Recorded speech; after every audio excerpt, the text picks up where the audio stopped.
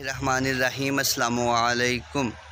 Matric का तो syllabus reduce हो चुका है, बल्कि मैट्रिक का तो ऑफिशियल नोटिफिकेशन भी आ चुका ऑफिशियल सिलेबस भी आ चुका स्मार्ट सिलेबस के हवाले से।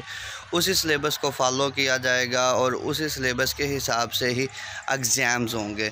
लेकिन एफएससी के तलबा इंटर के तलबा इस इंतज़ार में थे। पहले एक दफ़ा ये डिस्कशन हुई कि एफएससी का जो या इंटर का सिलेबस है स्मार्ट सिलेबस वो नहीं आएगा। लेकिन अब जो न्यूज़ निकल के सामने आ रही है, वो मैं आप लोगों के साथ शेयर कर रहा हूँ। इंटर के तलबा के लिए बहुत ज़्यादा खुशी की बात है, लेकिन वीडियो में मज़ीद आगे बढ़ने से पहले अगर आप लोगों ने मेरे चैनल को अभी तक सब्सक्राइब नहीं किया तो जल्दी से सब्सक्राइब कर लें और साथ बेल आइकॉन को भी दबाइएगा। तो जी जनाब, Punjab curriculum and text book board के सोर्सेज ने ये बात कन्फर्म की है कि इंटर के सिलेबस के शॉर्ट किया जा रहा है और इंटर के सिलेबस के शॉर्ट करने के लिए कमेटी बना दी गई है और बहुत जल्द विद इन फ्यू डेज़ कुछ दिन भी लग सकते हैं और कुछ वीक्स भी लग सकते हैं। उन वीक्स के बाद आप लोगों के लिए एक और खुशखबरी की बात होगी कि इंटर का भी स्मार्ट सलेबस मार्केट में अवेलेबल होगा और उसी सलेबस के हवाले से ही आप लोगों के एग्ज़ाम्स होंगे। अच्छा अब ये अभी तक कहना कबल अज़ वक़्त होगा कि वो सलेबस कितना शार्ट होगा। एफ़, क्योंकि मैट्रिक का जो सलेबस शार्ट हुआ है, क्योंकि उनके सिक्स मंथ कोविड नाइन्टीन की वजह से ज़ाया हो चुके थे तो वो तो काफ़ी हद तक ज़ाया हो चुका है। लेकिन इंटर का भी सलेबस शार्ट हो रहा है, ये तो कन्फर्म है।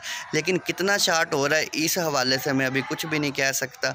तो आप लोग अभी अपनी स्टडी को स्टार्ट कर दें। खूस ये खुशी की बात है।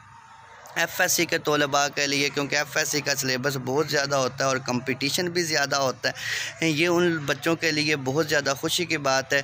आप लोग अपनी स्टडी स्टार्ट कर दें, अपनी पढ़ाई स्टार्ट कर दें, लेकिन आप लोगों को ये भी कंफर्म हो चुका होगा अब कि इंटर का सिलेबस शॉर्ट होगा। तो आप लोग अच्छे मार्क्स ले सकते हैं। टाइम आपके पास काफ़ी है। आप अपना एफ़ एस सी के अंदर इंटर के अंदर अच्छा स्कोर कर सकते हैं। स्मार्ट सिलेबस को याद करके स्मार्ट सिलेबस के हवाले से तैयारी करके। वो स्मार्ट सिलेबस आएगा कब? जैसे ही आएगा मार्केट में, मैं भी वो आप लोगों के साथ शेयर कर दूँगा। या ऑफिशियल नोटिफिकेशन आ जाएगा।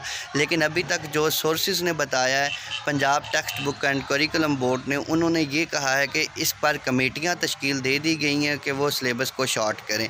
ये थी आज की एक छोटी सी अपडेट वीडियो उम्मीद करता हूँ आप लोगों को ये वीडियो पसंद आई होगी। वीडियो अगर पसंद आई है तो वीडियो को लाइक और शेयर करना मत भूलिएगा। और चैनल की सपोर्ट के लिए चैनल को सब्सक्राइब करना मत भूलिएगा। नई वीडियो तक के लिए अपने दोस्त और होस्ट उस्मान मुस्तफ़ी को दें इजाज़त। अल्लाह हाफिज़।